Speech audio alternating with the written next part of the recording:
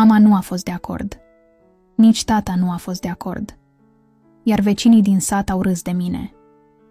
Dar eu am decis să mă căsătoresc cu femeia de care m-am îndrăgostit. O femeie care avea cinci copii dintr-o altă relație. Când am întâlnit-o pe Maria pentru prima dată, m-a cucerit cu zâmbetul ei cald și cu inima deschisă.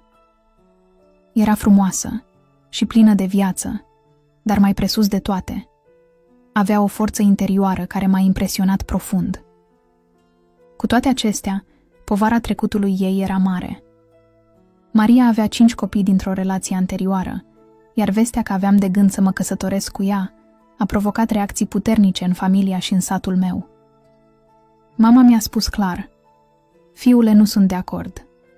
Această femeie te va lăsa când își va vedea copiii mari. Ești tânăr, meriți să începi o viață de la zero, nu să te încarci cu responsabilități care nu sunt ale tale. Tata a fost și mai dur. Nu faci altceva decât să-ți complici viața. Satul râde de tine. O să-ți distrugi viitorul. Vecinii din sat nu au fost mai blânzi. Uită-l pe băiatul ăsta. Și-a luat o mare responsabilitate pe umeri. Ce greșeală face? Râdeau ei când treceam cu Maria pe stradă. În ciuda acestor reacții, inima mea îmi spunea că trebuie să fiu alături de Maria. Am decis să merg înainte, indiferent de ce spuneau ceilalți. Ne-am căsătorit și am început o viață împreună, alături de cei cinci copii ai ei. Încă de la început am știut că nu va fi ușor. Eram conștient că erau multe guri de hrănit și că responsabilitățile erau uriașe. Am muncit din greu. În timpul zilei lucram la fermă. Seara făceam ore suplimentare la fabrica din oraș, iar în weekenduri mă angajam la diverse lucrări de construcții. Erau zile în care simțeam că oboseala mă va copleși, dar gândul la familia mea îmi dădea putere să continui. Într-o seară după o zi lungă și grea, m-am așezat pe canapea și am început să plâng. Copiii erau în jurul meu încercând să mă înveselească. Cel mai mic dintre ei s-a apropiat și mi-a spus cu vocea sa blândă. Nu plânge, tată. Într-o zi ne vom face mari și totul va fi bine. Cuvintele lui m-au atins profund și mi-au dat speranță. Anii au trecut, copiii au crescut, iar sacrificiile mele au început să dea roade. Maria însă a început să se schimbe. Devenise distantă și rece. Am aflat că umbla cu un alt bărbat. Când am confruntat-o, a recunoscut și m-a părăsit. Am crezut că mor de tristețe, simțind că totul s-a năruit în jurul meu. Dar copiii mei dragi mi-au rămas alături. Au fost sprijinul meu în acele momente grele. Îmi amintesc de o seară în care am stat toți în jurul mesei, discutând despre viitor. Tată, a spus Andrei băiatul cel mai mare, știm că ți-a fost greu, dar vrem să știi că te iubim și că vom fi mereu aici pentru tine.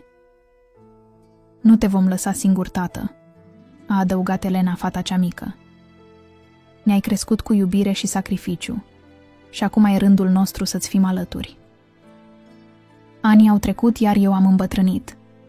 Într-o zi, fata cea mică a venit la mine și mi-a spus Tată, nu te las singur nici măcar o clipă. Te voi răsplăti pentru toate sacrificiile pe care le-ai făcut pentru noi. M-a luat la ea acasă, unde am găsit căldură și iubire.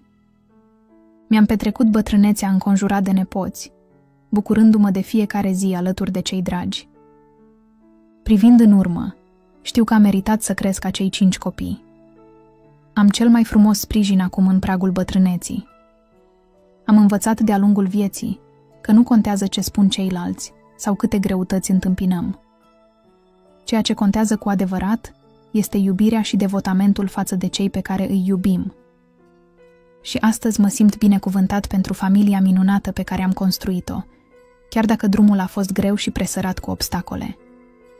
Așa că atunci când îmi amintesc de momentele în care mama, tata și vecinii râdeau de mine, realizez că am făcut alegerea corectă.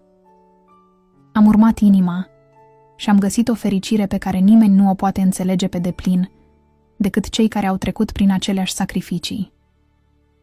Am avut parte de o viață plină de iubire și recunoștință. Iar acum, în pragul bătrâneții, știu că a meritat fiecare clipă. Chiar dacă soția mea m-a părăsit, copiii mi-au rămas alături și îmi sunt sprijin de nădejde și alinare acum în pragul bătrâneții. Dacă ai ajuns până la finalul poveștii, lasă o inimă și asigură-te că ne urmărești.